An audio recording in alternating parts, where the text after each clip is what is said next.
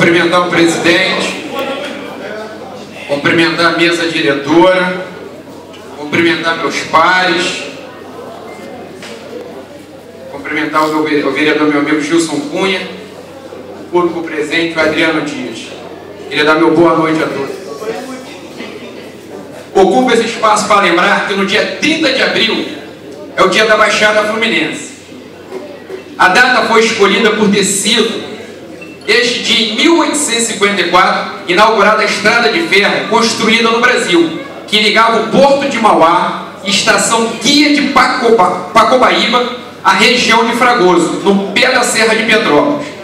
Proposto pelo Fórum Cultural da Baixada em 2000, o Dia da Baixada Fluminense tem por objetivo celebrar os valores históricos, culturais, sociais, humanos e naturais da região, além de discutir problemas atuais com a participação ativa e consciente da sociedade.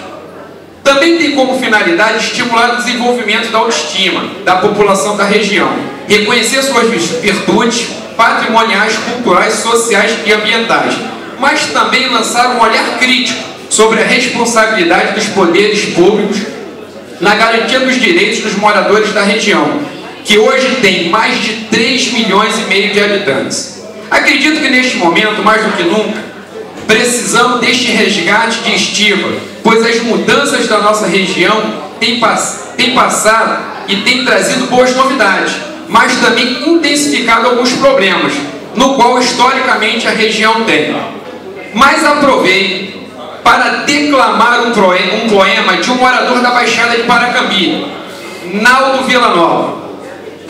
O poema se chama Cidadão Baixada e diz assim: Estou voltando para casa, voando sem asa, louco para chegar. Suando nesse trem lotado, mal acomodado, mas vou para o meu lado. Caminho num passo apressado, num chão enlameado, estou quase lá. Meu canto não é um lugar perfeito, mas o preconceito o faz piorar. Estou na mira dessa ira, que revira, vira todo o meu viver vivendo quase um faz de conta que nunca desponta e nos faz sofrer. No ato, o que sei de fato é que de imediato não consigo ver o mundo virar realidade e um sonho de verdade para a gente viver. Eu moro na Baixada Fluminense. Quem quiser que pense o que quiser pensar. Estou no sufoco medonho, mas não me envergonho desse meu lugar. Aqui a nossa poesia não tem maresia, nem brisa do mar, mas tem a força da alegria que dribla a agonia e nos faz cantar.